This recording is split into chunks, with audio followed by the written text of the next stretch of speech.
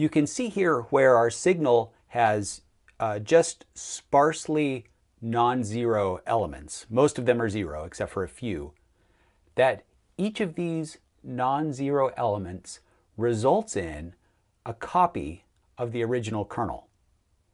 Depending on the sign and on the magnitude of the non-zero element, we can change both the size and the direction, the size, the magnitude and the sign of the kernel in the result. But each of the points just takes a copy of the kernel, adds it to the convolution, and then scales it accordingly.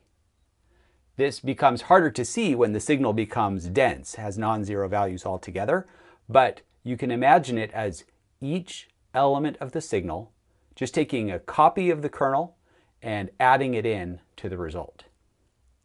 We can see here, even with the different kernel, we get the same result by taking it, flipping it, and doing the sliding dot product with a signal.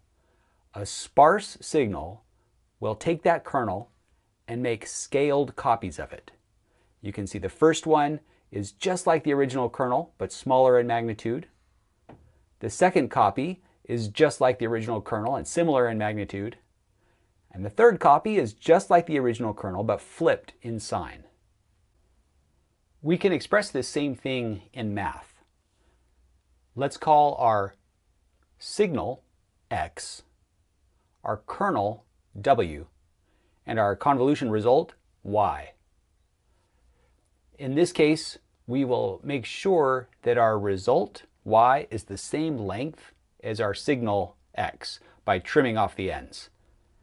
We'll come back to this and relax this assumption later. And then our kernel, w, is going to have n elements. Our input and output, our x and our y, are going to have m elements. And this is what it would look like in a neural network.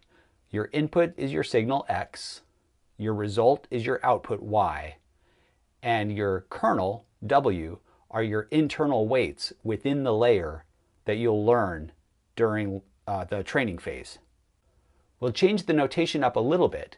Instead of having our, uh, instead of indexing the values of our kernel from 0 to n minus 1, it makes it a little easier to handle if we index it between minus p and p. This assumes that we have an odd number of elements in our kernel, which is convenient when we go to slide it along. It means that we can line up the value of the result with the value of the signal, and they don't get uh, sandwiched halfway in between. So an odd numbered kernel is helpful. And by assuming an odd numbered kernel, we can index it from minus p to p, and this just makes some of the notation a little more convenient later.